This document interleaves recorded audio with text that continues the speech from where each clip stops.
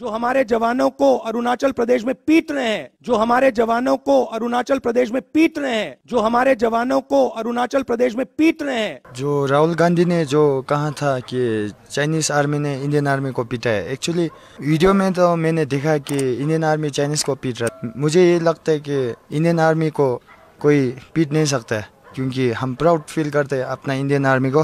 राहुल गांधी ने बयान दिया है तो मेरा ख्याल से वो तो बिल्कुल गलत है क्योंकि हम लोग सब मतलब जानते हैं कि अपना इंडियन आर्मी को लेकर हम लोग बहुत प्राउड है ना। तो कहाँ वो लोग ने पिटा है? वो वीडियो में हम लोग देख सकते हैं ना।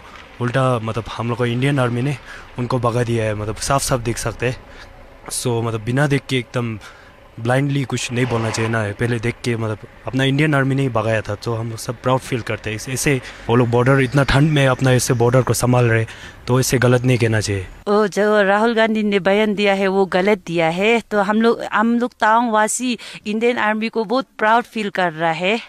यहाँ बॉर्डर इतना सामने है, तावांग से इतना ज़्यादा दूर है नहीं, फिर भी उसका वजह से हम लोग का तावांग का आदमी लोग सब सेफ्टी है। इसलिए हम लोग इंडियन आर्मी को बहुत ही ज़्यादा प्राउड फील कर रहे हैं।